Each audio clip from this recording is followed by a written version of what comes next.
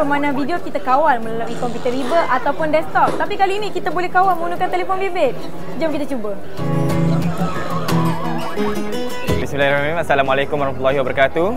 Uh, saya pegawai kadet Wan Nur Hidayat Wan Wan Muhammad dari Universiti Pertahanan Nasional Malaysia uh, yang merupakan pelajar tahun ketiga Fakulti Teknologi Pertahanan yang mengambil uh, kursus dalam bidang sains komputer, sistem keselamatan maklumat.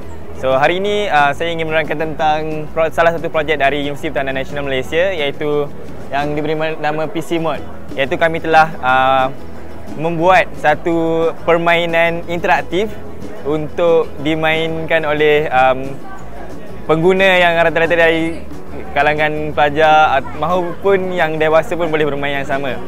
Uh, game ini yang dipanggil sebagai Frogger uh, telah lama sebenarnya uh, dicipta di Amerika Syarikat pada tahun pada tahun 1980. Tapi kami mengambil inisiatif untuk meningkatkan lagi um, ciri-ciri dalam game ini bagi mesra pengguna seperti uh, menggunakan Android, telefon Android bagi menggerakkan ataupun mengawal sendiri game ini bukannya hanya bermain di komputer.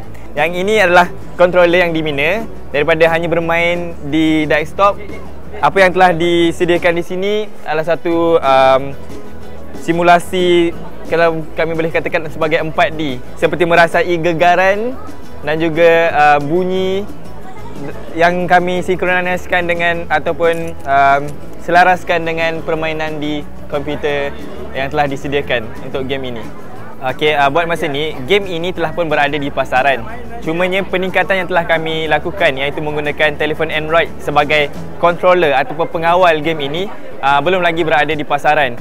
Uh, tetapi apa yang unik uh, mengenai game ini ialah ciri-ciri tambahan yang telah kami tambahkan kepada permainan game ini yang ternyata uh, sejak selama satu hari ditayangkan ataupun dipersembahkan kepada umum pada hari ini sambutan yang kami terima cukup baik baik daripada pelajar-pelajar dari peringkat sekolah maupun orang-orang dewasa yang bercuba bermain game ini. Okey, memandangkan uh, cubaan pertama kami ini adalah dengan mengemaskini ataupun menambah ciri-ciri yang ada pada game yang telah sedia ada kami berharap untuk mencipta sebuah permainan interaktif uh, yang mempunyai ciri-ciri ataupun hak milik kami sendiri daripada uh, yang akan dimainkan oleh uh, pelbagai lapisan masyarakat dan mempelbagaikan lagi um, kewujudan sistem aplikasi permainan dalam industri um, ICT di Malaysia dan seterusnya menembusi pasaran antarabangsa. Yeah.